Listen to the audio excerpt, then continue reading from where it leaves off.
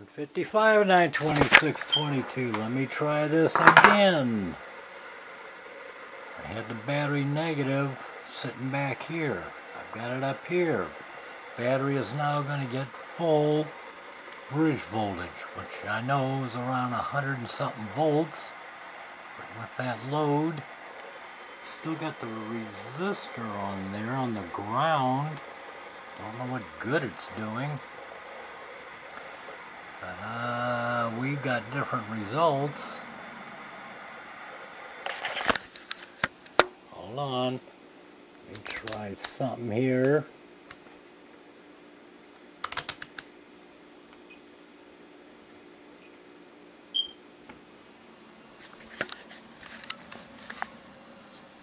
Okay.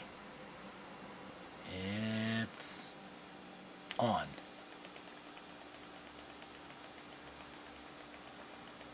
Now I'm getting a hundred milliamps occasionally.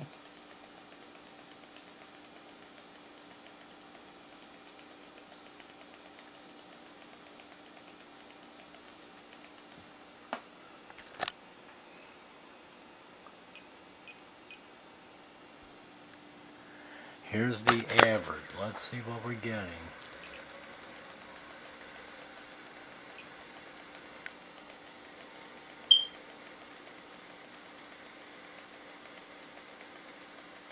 Thirty milliamps, thirty-five. I know there's one amp going out. Forty coming in. And if we disconnect this ground.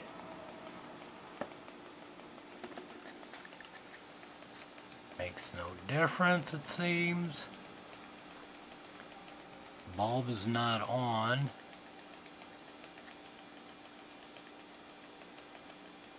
Forty-six milliamps in, one amp out.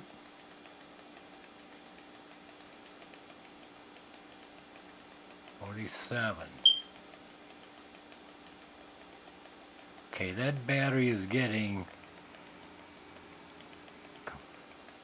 bridge voltage which comes out to 10 11 volts 0.48 amps averaging huh